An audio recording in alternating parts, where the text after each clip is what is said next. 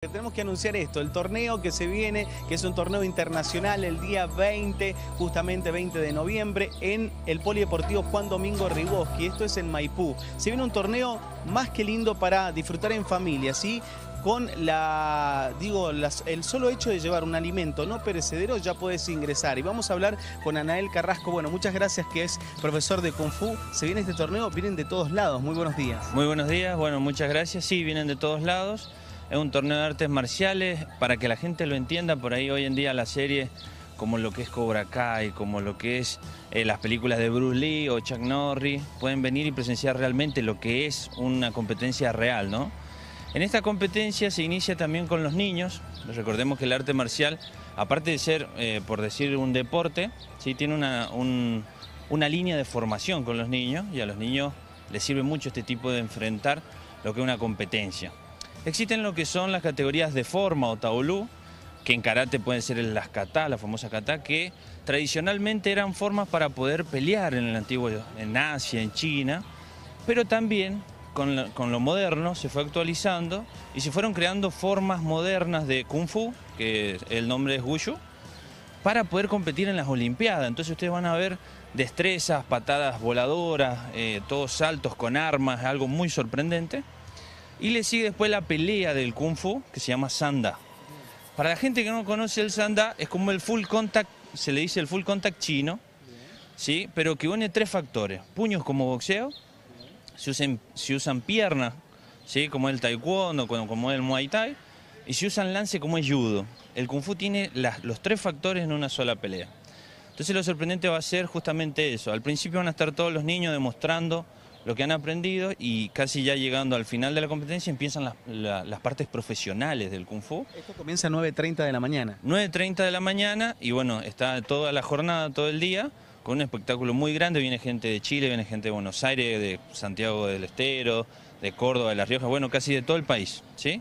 Entonces es un evento que no pasó justamente eh, años atrás por pandemia. Recordemos que la pandemia frenaron muchas cosas y por primera vez en este lugar se va a hacer algo que justamente acá el maestro lo va a comentar, que es la famosa danza del león y la danza del dragón, que son originarios de China, algo muy muy importante y único en la provincia. Bueno, Anael, esperamos que les vaya muy bien. Cada vez más eh, niños realizan artes marciales, eh, esto es importante destacarlo, ¿no? Sí, realizan muchas más artes marciales, importante para los padres saber qué. Esto ayuda a que el niño se forme, que salga un poco de la pantalla, que salga un poco de las redes, y empiece a vivir algo distinto, algo que es muy necesario para la sociedad, lo que es la formación. ¿Cuántas escuelas tenemos, por ejemplo, de Kung Fu o de artes marciales en Mendoza? En Mendoza hay muchas, hay muchas. Organizamos, en el torneo van a haber más de 20 escuelas que van a competir y van a haber mucha gente, inclusive varias eh, sirven, eh, toda arte marcial sirve, eh, y es lo importante justamente de la sociedad, ¿no? Lo que más necesitamos es eso, la formación. Y el deporte los ayuda a crecer, sin duda. Bueno, Anael, esperamos que les vaya muy bien. Muchas gracias por la entrevista. Muchas gracias a usted. Bueno, Anael es el profesor, Anael Carrasco, profesor de Kung Fu, y estamos con el maestro también Germán Bermúdez, que nos va a explicar concretamente la danza del león, porque uno si le dicen el nombre por allí no tiene dimensión de, de qué se trata y de qué estamos hablando. Sí, en sí la danza de, del león y del dragón son dos danzas tradicionales. Em, las escuelas de artes marciales chinas son las encargadas de hacer estas danzas, no, no otras personas. Y son dos danzas que se realizan para dar buenos augurios. Esto lo vemos mucho en el barro chino, en el Año Nuevo chino, en, todo lo que es inauguración, todo lo que es hacer algo nuevo. Entonces, eso le damos buenos augurios.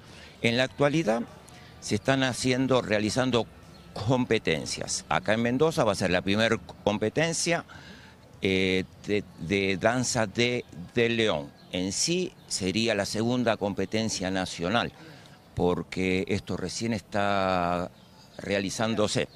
Entonces, para nosotros esto es un desafío poder organizar este tipo de torneo.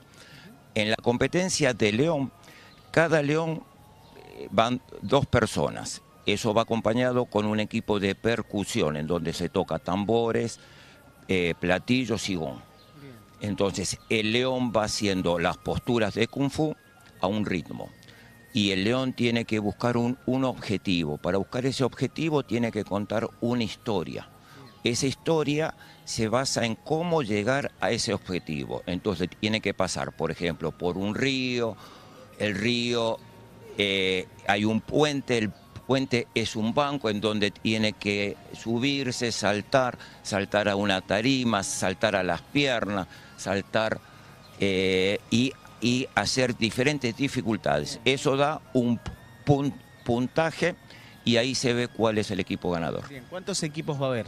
En sí tenemos ya confirmados ocho equipos. Hay tres equipos que van a venir de Chile y vienen gente de San Luis, gente de Buenos Aires, gente de La Pampa y de acá en Mendoza tenemos dos equipos que a nosotros nos van a representar. maestro, muchas gracias y que les vaya muy bien. Muchísimas gracias a ustedes por darnos esta difusión, que para nosotros esto es muy importante, que esto se vaya de a poco conociendo.